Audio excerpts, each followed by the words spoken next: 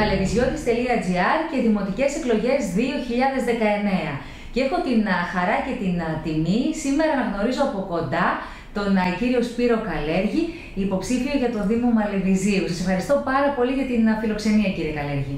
Εγώ ευχαριστώ εσάς που με τιμήσατε με την παρουσία σας. Τι σημαίνει για εσάς, θα ήθελα να μάθω, Μαλεβίζη. Μαλεβίζει. Μια μαγική λέξη ένας τόπος θεϊκός.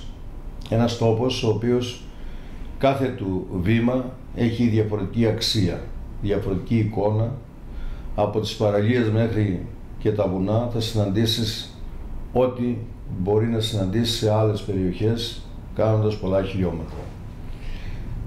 Νιώθω υπερηφάνεια που γεννήθηκα σε αυτόν τον ιδιαίτερο τόπο του Μαλεβιζίου όπως ανέφερα προηγουμένως, ένας χώρος ο οποίος θα μπορεί να αναπτυχθεί και να δημιουργήσει μια καινοτομία σε ολόκληρη την Ελλάδα με ιδιαίτερους τρόπους ανάπτυξης.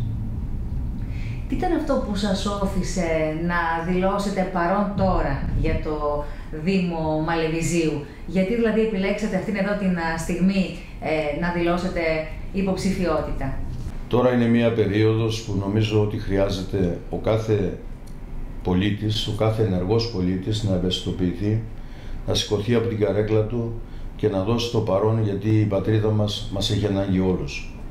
Ιδιαίτερα ο χώρος ο δικός μας του Μαλεβιζίου είναι εκείνος ο οποίος βρίσκεται σε μια απραξία πάρα πολλά χρόνια. Ε, δεν δημιουργήθηκε ποτέ η προϋπόθεση με την οποία σκέπτομαι εγώ να αναπτύξω το χώρο αυτό του Μαλεβιζίου.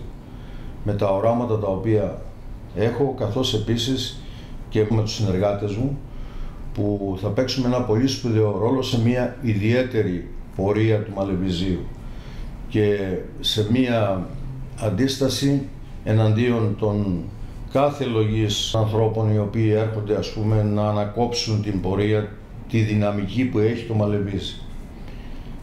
Ε, είναι μια περίοδος για μένα πολύ δύσκολη, αλλά θα πρέπει αυτό να το κάνουμε όλοι. Εγώ πολιτικός δεν είμαι. Εκεί είναι το μεγάλο μου πρόβλημα, ότι εγώ μιλώ μέσα από την καρδιά μου, εγώ μιλώ μέσα από την εικόνα την οποία έχω για να δημιουργήσω στο Μαλεβίζι ένα άλλο βήμα. Ποια θα έπρεπε να είναι η σχέση μεταξύ Δήμου και Δημοτών, κατά τη γνώμη σας; Καταρχήν ο πολίτης έπρεπε να νιώθει το Δήμο σπίτι του. Έπρεπε να τον νιώθει σαν ένα αποκούμπι του. Έπρεπε να τον νιώθει ότι πηγαίνοντας εκεί θα σκύψουν στο πρόβλημά του οποιοδήποτε ή το εκείνο να τον βοηθήσουν να το ξεπεράσει. Θα πρέπει ο Δήμος να είναι ε, εκείνος ο οποίος σήμερα θα στηρίξει τον απροστάτευτο πολίτη που πράγματι ο, ο πρώτος θεσμός που είναι κοντά στον πολίτη είναι η πρώτου βαθμού αυτοδιοίκηση.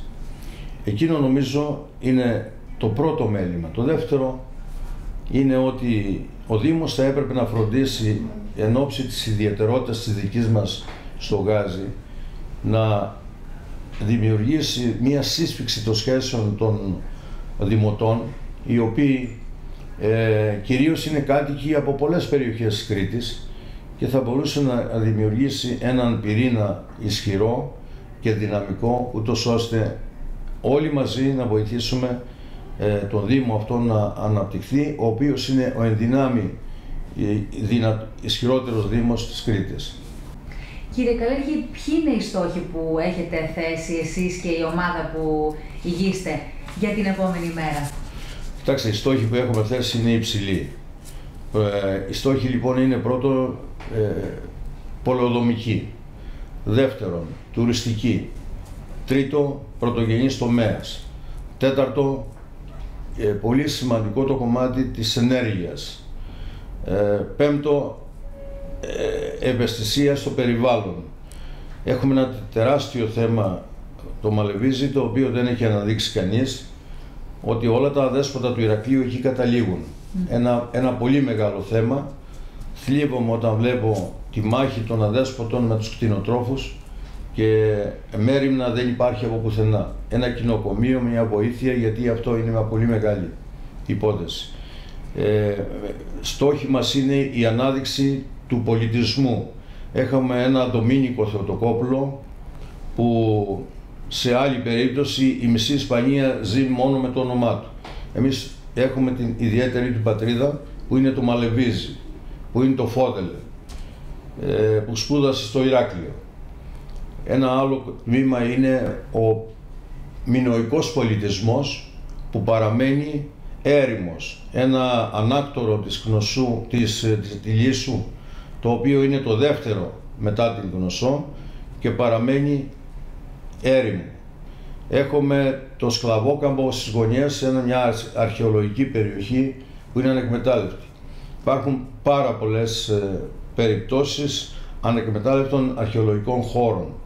Υπάρχει ο πολιτισμός που εξάλλου το Μαλεβίζι τον φέρει χρόνια ε, γύρω από τη μουσική. Ο Μαλεβιζότης ο χορός είναι αυτός που είναι πασίγνωστος σε ολόκληρο τον κόσμο. το Μαλεβίζι έχει γεννήσει ήρωες που δεν έχουν τιμηθεί ποτέ, αν εξαιρέσουμε ελάχιστες περιπτώσεις. Το Μαλεβίζι γέννησε ανθρώπους που έγραψαν ιστορία σε πολλούς τομείς. Θέλουμε να τους αναδείξουμε, θέλουμε να, ήρθα, να έρθουμε δίπλα στον πολιτισμό, δίπλα στην ανάπτυξη και δίπλα στα οράματα τα οποία ε, θα σας τα παρουσιάσω με λεπτομέρειες στο, το πρόγραμμα το δικό μας. Κύριε Καλέγη, σας ευχαριστώ πάρα πολύ για τον χρόνο που μας διαθέσατε. Να ευχηθώ από καρδιάς καλή δύναμη και καλή επιτυχία. Ευχαριστώ πάρα πολύ. Να είστε καλά.